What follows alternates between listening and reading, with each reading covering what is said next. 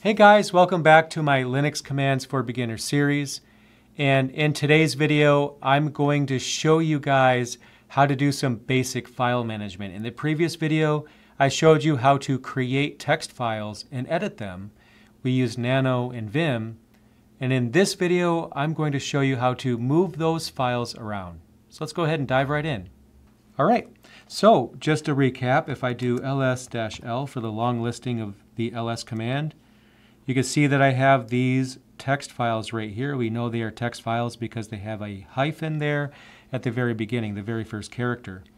And we have four of them, and those files right there are the files that we used when we were walking through the text editors in the previous video. So in this video, I'm basically going to show you how to move those around. Let's start with test2.txt. I already showed you you can use the cat command to see what's inside that file. We can see it simply has the name of my YouTube channel there. That's all it has. So I'm going to first show you how to copy files. So what I'm going to do, and again, just to get back on the screen the list of files, I'm going to cp for copy, and I'm going to copy test2.txt. So that's an argument to the, the cp command, but I need to give it a name to copy it to. And I'm just going to call it newfile.txt. I'm going to copy test2.txt to newfile.txt.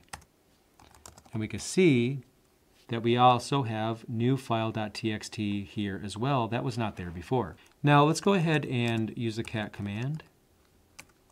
We see that it has the name of my YouTube channel. And if I did the same thing uh, against test2.txt, we see that it has the same content. Now, another command that we can use to do essentially the same thing, just kind of tell us whether or not a file is different, is the diff command. And I could do new file.txt and then test2.txt. So I'll press enter and there's no output. The diff command will tell you if the files are different. Since I copied one file to the other, of course they're not different, they contain the same text. And to take another look at our files here, what if I want to get rid of newfile.txt? How would I do that? So what I want to do is use rm for remove, and I'm going to do the name of the file I want to remove, and I'll press enter, And of course, it's gone. And I could do the same thing to test 2.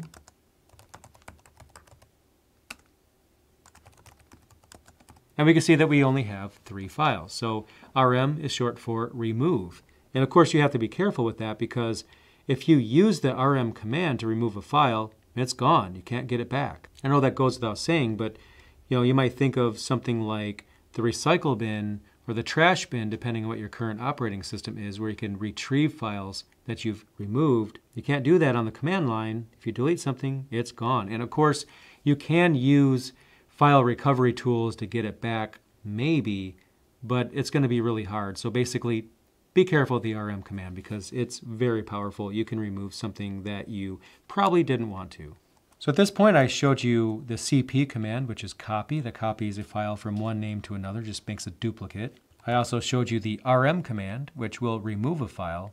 But what if I wanted to move a file from one place to another? So to take another look at the files that we have, we have these three text files, test3, test4, and test file. I'm going to move them somewhere else. So first of all, what I'll do is I'll just do a mkdir to make a new directory, and I'll call it notes and ls-l, we see that we have the directory notes. So I'm going to use the, the move command, mv, to move these text files into that directory. So I'll do mv, and then the name of the first file, and then I'm going to move it into notes. We can see test3.txt is not there. Now if I do ls against notes, we can see that the file is actually in that directory. Now I only have two text files here, so I can actually move them both by doing mv star dot txt, which basically the star represents anything, and then it has to end in dot .txt, but what comes before that, the asterisk basically means it could be anything. We have these two files that meet that criteria, so I'm going to move both of those files into the notes directory and those files are now gone. So if I go into notes, we can see that those three files are actually there, but I can move them back. And one way I could do that is the same way I do cd dot dot to go back a directory. I can actually do mv test file dot txt dot dot. The dots there, the two dots means the you know one level above. So I'm in the notes directory right now, which is a subdirectory of home, which is shorthand designated by a tilde here. So if I use dot dot, it's going to move the file from here back to the previous directory, which is actually this one. So I'll go ahead and press enter. And just to give you an idea, if I do pwd, you see I'm at home j notes. This is where I am right now. And by moving it to dot dot, I'm moving it to the directory that's this way in the string here. So of course, like I mentioned, the tilde is just a shorthand for slash home slash j. So if I do ls dash l dot dot, which is just doing a long listing of the previous directory, we do see that the file was moved back there. In much the same way, I could do mv dot dot then a forward slash test file.txt. So that means take the file that is one level behind and it's called testfile.txt and move it to, well, where do we want to move it to? Well, we could do a single dot. A single dot refers to the current directory. So I'll press enter. And now we'll see that testfile.txt is in my current working directory, which again is slash home slash j slash notes. If I do just to you know drive this home, ls dot, it's the same as if I did ls dash L or whatever it happens to be. You have the same output because, like I mentioned, ls dot means your current working directory, which is this one. We don't need to tell it the directory we want to list if the directory we want to list is the one we're already in. So effectively ls and ls dot are the same thing. The dot isn't necessary because that just refers to where we already are. So in this case, when I use the move command to move a file that's behind to a single dot, I'm basically just saying, please move this file to where I am, which actually is in the notes directory. So how do I rename a file? Again, I have these three files right here. I want to go ahead and rename these. But what command would we use to do that? And actually, it's the same command we use to move files from you know, one directory to another, the mv command.